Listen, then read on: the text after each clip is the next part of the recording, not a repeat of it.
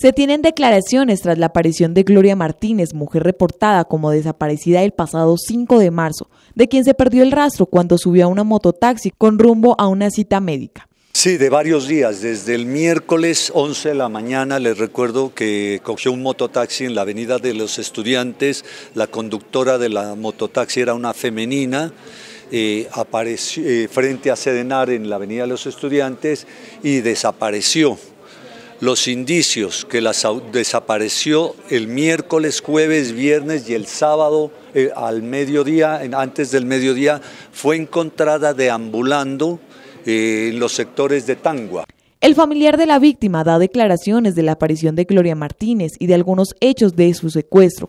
A su vez, agradece a las autoridades y fuerzas militares, autoridades competentes, por su gestión en la búsqueda de la víctima.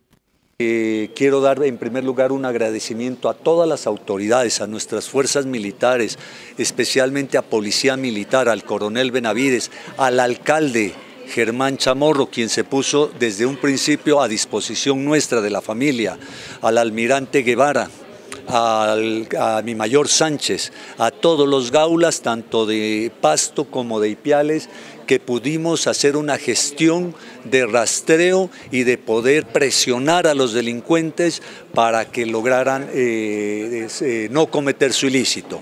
Asimismo, hace un llamado para alertar a la comunidad que usa este medio de transporte para tener más precaución en su movilidad. Les pido yo a la ciudadanía tener cuidado con este, con este tipo de, elementos porque se confía uno de personas que no conoce siendo una femenina la que manejaba la mototaxi y resultó en lo que resultó.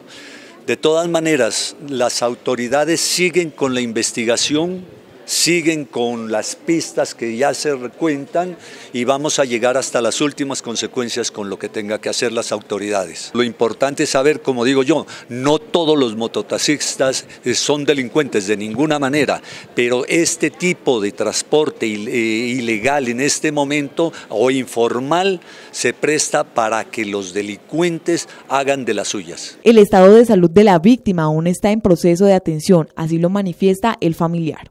En materia de salud está bastante mal, está afectada psicológicamente, todavía no recobra 100% el sentido, la dosis fue muy fuerte, ella estuvo inconsciente todo este fin de semana, tiene que entrar a un tratamiento de desintoxicación y la idea es que durante darle el periodo para el tratamiento clínico y el tratamiento psicológico que se requiere. Ella está recluida en un centro hospitalario de la ciudad.